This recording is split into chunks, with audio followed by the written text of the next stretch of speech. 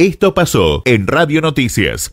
Siguiendo con las restricciones que se establecieron eh, en fase 3, repito, no prohibiciones, sino restricciones, me estaba refiriendo al tema de los horarios. Como acabo de explicar, los comercios en general, que no incluye a, a comercios esenciales y que no incluye a locales de gastronomía, se cierran a las 20 horas.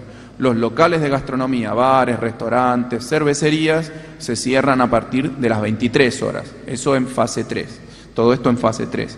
Y la circulación, como estableció el Gobierno Nacional, a partir de las 0 horas. ¿sí? Se corta la circulación a partir de las 0 horas. En fase 4, todo eso que acabo de decir, todos los comercios y la circulación a partir de las 0 horas en fase 5, todo eso que acabo de decir, todos los comercios, los locales de gastronomía, a partir de las 2 de la mañana, como habíamos establecido en su momento durante la, la temporada estival.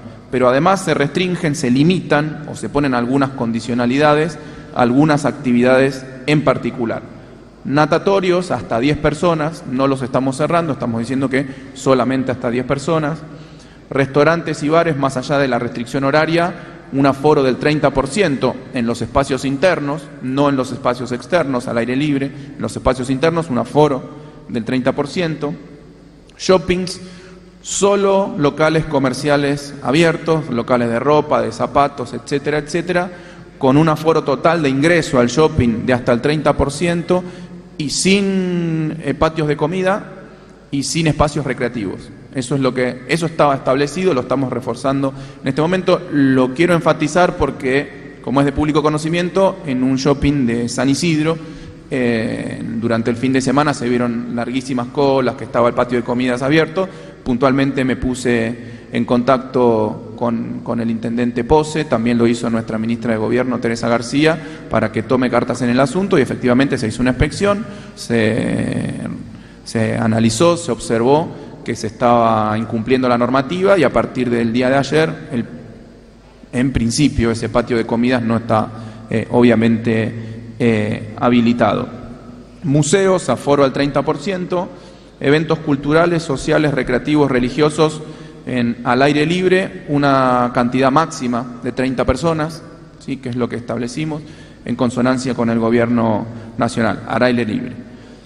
Fase 3 estoy diciendo, ¿no? Todo fase 3. Y después, actividades que hemos prohibido directamente en fase 3, reuniones sociales y familiares en los domicilios. Esto ya hemos, lo hemos hablado varias veces, lo hemos discutido con el Gobierno Nacional, con el Gobierno de la Ciudad Autónoma de Buenos Aires, tenemos un consenso absoluto que son los espacios y además uno lo ve personalmente, cuando se pudo, luego de que pasó la, la parte más restrictiva del aislamiento social preventivo y obligatorio y pudimos ir a ver a nuestras familias luego de, de, varios meses de estar comunicados por teléfono, por redes, etcétera, era muy difícil, la verdad, no acercarse, no descuidarse, porque uno está en un ambiente justamente familiar y relajado. Así que eso les pedimos eh, que no, eh, no se junten en domicilios particulares, eventualmente se juntan en una plaza, en un parque, con el distanciamiento, al aire libre, eh, etcétera. Después, Actividades en bingos y casinos en fase 3, obviamente, están limitadas, están eh, prohibidas.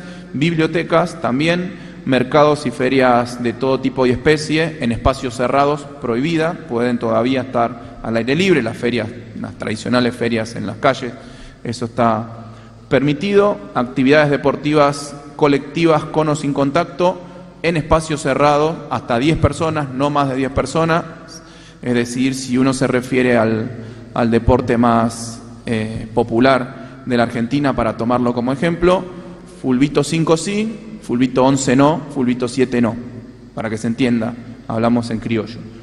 Eh, y esas son básicamente las actividades prohibidas para la fase, la fase 3. Somos Radio Noticias.